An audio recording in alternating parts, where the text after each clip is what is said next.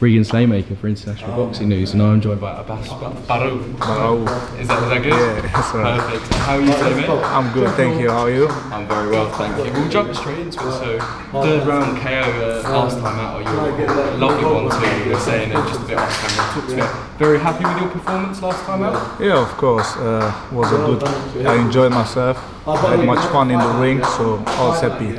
Definitely, you, you should be. mate. I thought it was a class performance. Obviously, it was only a three-round fight. Kind of, what was um, what were Adam and the team saying to you in between rounds? Kind of, it was obviously we'll go on to it in a minute. But was it kind of a bit in your mind that you had to win this fight to get to obviously get to the European title fight? Did they have, did they have to kind of relax? Yeah, of course. Uh, I always have to win fights, but there was no pressure on it. I was just uh, trying to have fun in the ring, you know. Been out for a while, so I was just enjoying myself, and the team were focusing on me to have a good structure in the ring to show myself uh, that I'm back, and uh, it was just we had, we had, we had a nice flow, you know. Definitely, you did, and as I said, the lovely one too that, that stole the show right at the end. Um, kind of, and then we'll go on to it. So you're mandatory for Milan Prat's uh, European Super Welterweight title. Kind of, how are you feeling about the fight? Obviously, you mentioned you were mandatory for a while, but you had an injury, so you had to like postpone it a little bit. But how are you feeling about that fight in general? I feel good about the fight because uh, it came to the right time. Um, even last year, I felt like okay, that was the next step to have. So I was really happy uh, for this opportunity. But I had to pull out during injuries, so and uh, I'm really also grateful that we uh, cannot still be mandatory for that, and we still on on that journey. So I'm very excited, and I'm really sure uh, I'm, I'm belong there. So I'm uh, pretty sure I'm gonna get the European title.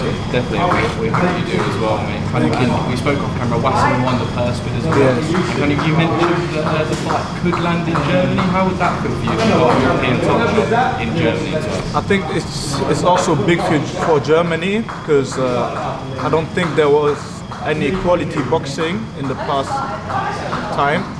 So uh, I'm happy to bring this exciting fight to Germany as well, and I think uh, German people love boxing. So I'm happy to be in this position to bring um, a European title fight to Germany and uh, to bring also a good performance to the uh, German fans. When, when do you think that fight would land, or is it just very early stages? at the moment? You know? Uh, not really. I hope for June in Germany, beginning of summer.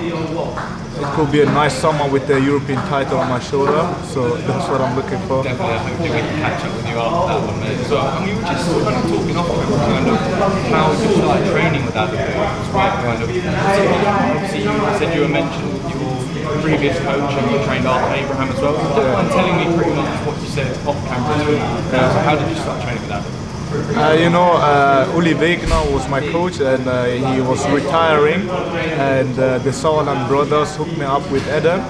And uh, they had a list of coaches. So uh, when I met Adam, I, I, felt, I felt his knowledge of, of boxing and I know, okay, it's a good place for me to start.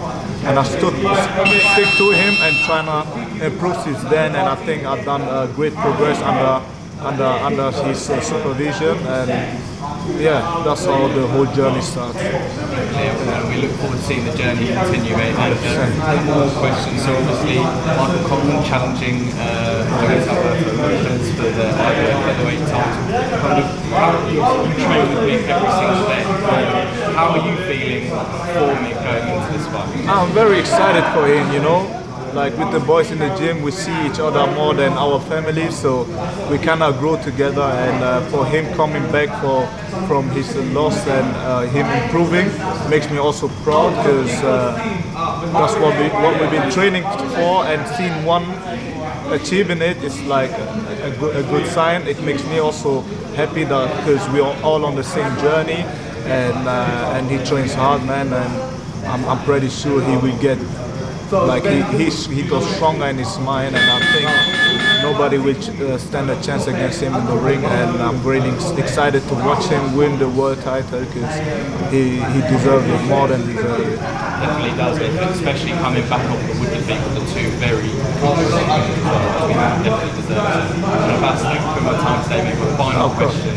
Uh, what does boxing mean to you? Oh, boxing. Boxing is my life. Uh, I, I, can't find the right word to express this, but but uh, yeah, boxing is boxing is life. Like it's my passion, you know. Like I breathe boxing, I breathe out boxing. So that's that's that's my life. It's a it's a whole journey.